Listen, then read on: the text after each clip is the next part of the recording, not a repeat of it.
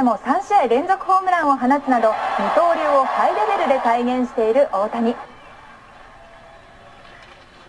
メジャー2試合目の登板となった大谷は1回先頭バッターをスプリット。2番をストレート。3番をスプリットで3者連続三振。最高のスタートを切ります。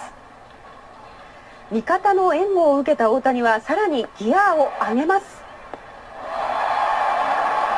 大谷の投球に相手バッターもこの表情。スタジアムも異様な雰囲気に包まれます。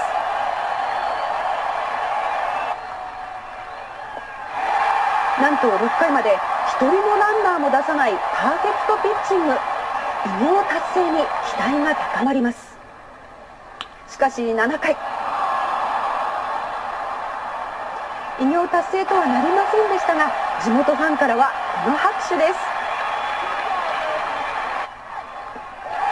その後ピンチを作りますが最後も三振を奪った大谷。7回1安打無失点。毎回の12奪三振で2勝目。二刀流大谷翔平の快進撃は止まりません。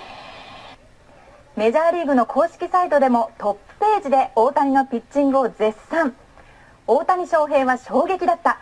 悪魔のようなスプリットだったとまたしても大きな驚きを持って報じられました。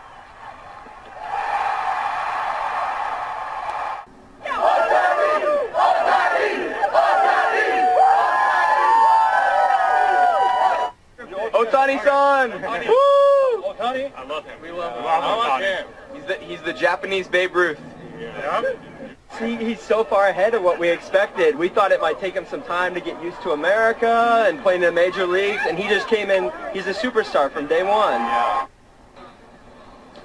大谷選手のホームでの初登板を見守ったのはおよそ4万5千人えこれは20年前にここエンゼルスタジアムが改修されて以来最多記録ですえその大観衆からは三振のたびに大きな歓声が上がりまるでオールスターゲームのような盛り上がりでした。そして7回に初めてヒットを打たれた際にはそれまでのパーフェクトピッチングをたたえて観客がスタンディングオベーションを送りました。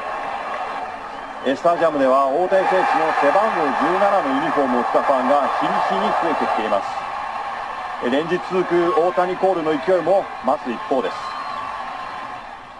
期待に応えることがちょっとでもできたんじゃないかなっていうところでは、えー嬉しさは感じてるので、まあまだあの最初の週で相手も僕のことをあまり理解してない状態なので今はいい方に転がってますけど、まあ、それが難しくなった時、えーまたその壁をしっかり破れるように準備しながらいきたいなと思います。